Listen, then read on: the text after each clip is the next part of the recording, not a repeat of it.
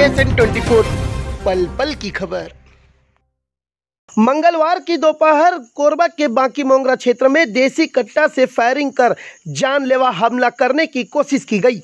मामला किराए के मकान को खाली कराने के बाद बदला वश किया गया। मकान मालिक ने किराएदार से घर खाली कराया तो बदला लेने के लिए गुस्से में किराएदार के दोस्त ने मकान मालिक के घर पर ही हमला कर दिया और गोलियाँ दाग दी। गोली की आवाज़ के बाद इलाके में हड़कम मच गया।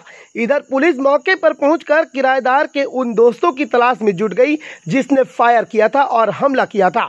घटना बाकी मोंगरा थाना क्षेत्र अंतर्गत पंखा दफाई इलाके में दोपहर करीब डेढ़ बजे घटी। हमले में बाल बाल बचे मकान मालिक की माने तो उसने अपना घर किराए पर दिया था। पिछले कुछ सालों से वहाँ एक युवक किराए पर रहता था, लेकिन दो दिन पहले राजकुमार साहू ने अपने मकान को किराएदार से घर खाली करा दिया। मकान मालिक राजकुमार साहू का आरोप है कि उसके घर के बगल में रहने वाला धर्म नाम के शख्स ने उसके किराएदार के साथ साठ गांठ कर आपत्तिजनक सामान का कारोबार करना शुरू कर दिया था। इसकी सूचना मिलने के बाद उसने घर को खाली करा दिया। हालाँकि युवक घर खाली करने को तैयार नहीं था। काफ़ी हिला हवाला के बाद युवक ने घर तो खाली कर दिया, लेकिन वो पड़ोस में रहने वाले धर्म नाम के अपने दोस्त के घर पहुंचकर पूरी आपबीती बता दी, जिसके बाद धर्म नाम के गुंडा नुमा व्यक्ति पाँच से छः लोगों के साथ मिलकर अपने दोस्त की बेजती का बदला लेने उसके घर पर हमला कर दिया। राजकुमार साहू ने बताया कि लाठी डंडे और धारदार हथियार के साथ पहुँचे युवकों ने, पहले तो उसके और उसके परिवार वालों के खिलाफ गाली गलौज की। उनके हाथ में हथियार देखकर उसने घर का दरवाज़ा बंद कर दिया, जिसके बाद तिलमिलाए युवकों ने गोली चला दी। खुशकिस्मती की बात यह रही कि गोली किसी को लगने के बजाय दरवाजे पर जा लगी, जिससे दरवाजे में एक सुराग भी हो गया। इधर घटना की सूचना राजकुमार साहू ने पुलिस को दी, जिसके बाद पुलिस टीम मौके पर पहुँची और आरोपी की तलाश में जुट गई।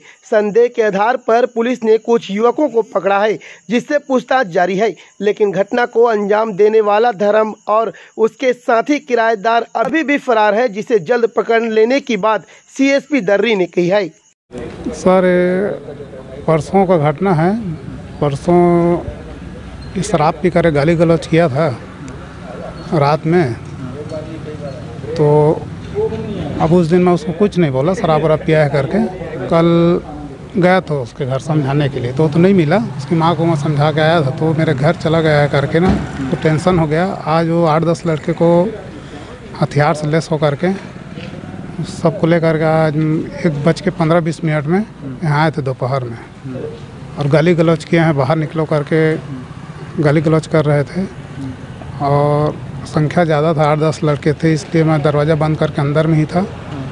तो लास्ट में वो लोग फाय, फायरिंग भी किए हैं कट्टा से। आप लोग देखे हैं कि गन रखे थे तलवार वो तलवार उलवार रखा था मैं देखा हूँ उसको।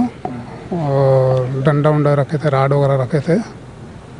और वो लास्ट में फायरिंग किया उसके बाद दस पंद्रह मिनट और रुके थे वो लोग गाली गलौज कर रहे थे। फिर मैं हम्म, एक सौ बारह को सूचना दे दिया। तो दस पंद्रह मिनट बाद रुकने के बाद वो लोग चले गए। जो लोग आपके साथ बदतमीजी किए थे उन लोग कैसे किस्म के लोग हैं? वो पूरा बदमाश है सर वो उसका काम ही है वो पूरा। तो दो नंबरी काम करना लड़ाई झगड़ा करना पूरा बस्ती परेशान है उससे।